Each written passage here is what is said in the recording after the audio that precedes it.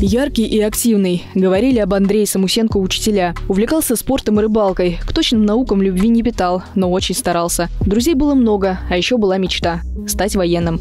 Сбылась. Вопреки просьбам родных он подписал контракт и отправился на СВО. Спустя месяц героически погиб в бою. Об этом теперь знает каждый школьник Неженки. Здесь ему посвящена парта героя.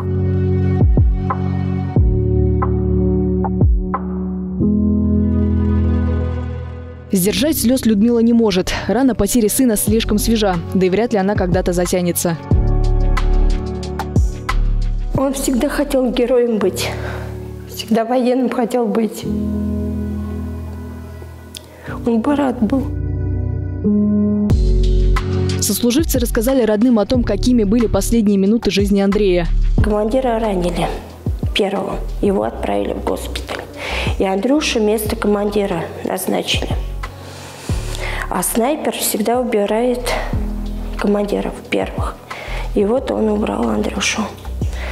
Мальчишки его унесли в трубу, спрятали, чтобы... И как он истекал кровью там. Отец бойца тоже находится в зоне специальной военной операции, а дома осталась семья. В 18 Андрей стал папой. Отцовства не испугался, посвящал дочке всего себя. Хватало его внимания и на младших братьев и сестру. Для меня он был самым лучшим братом, так как э, больше проводил со мной времени. Всегда заботился обо мне, всегда брал меня куда-то, чтобы я не грустила, не сидела дома одна. Всегда помогал с чем-то, всегда приходил в нужную минуту. Я скучаю.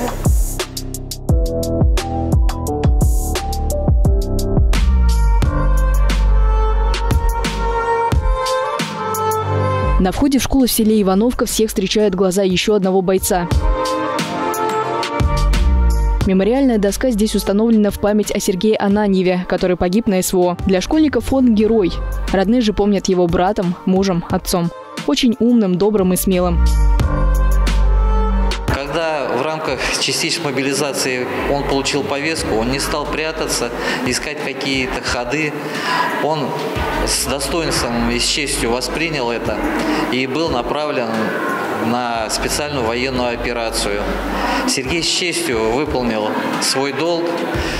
Он никогда не бегал за славой, но он ее достоин. Сергей Ананьев служил в мотострелковой бригаде. На связь выходил редко и был немногословен. 20 апреля он прислал свое последнее сообщение жене и сыну. «Мои малыши, мы меняем место локации. Здесь стало небезопасно».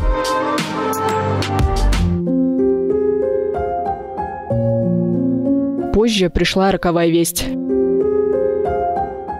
Узнала дней через 10, но не поверила.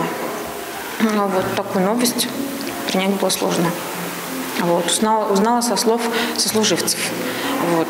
Ну, ну, до последнего я не могла это допустить.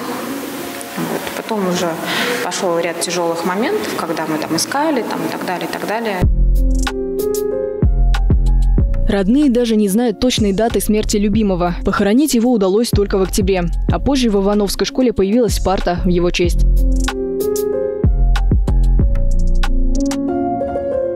Сидеть за партой не пускают просто так. Это право нужно заслужить. Хорошей учебой, успехами в спорте и поведением. Каждую неделю мы учимся и ведем себя хорошо, чтобы в следующую неделю сидеть за этой партой. Это большая гордость. То, что нам, именно нам выпала такая честь, что в нашем классе именно эта парта. Мы всем понимаем то, что этот человек погиб, погиб за, за нас всех, за мирное небо над головой.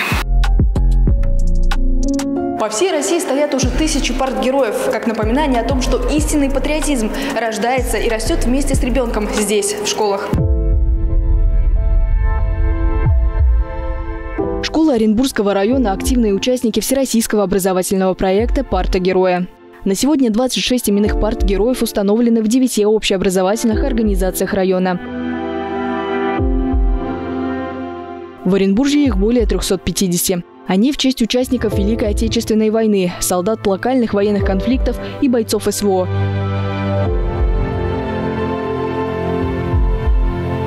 В память о тех, кто защищал интересы Родины.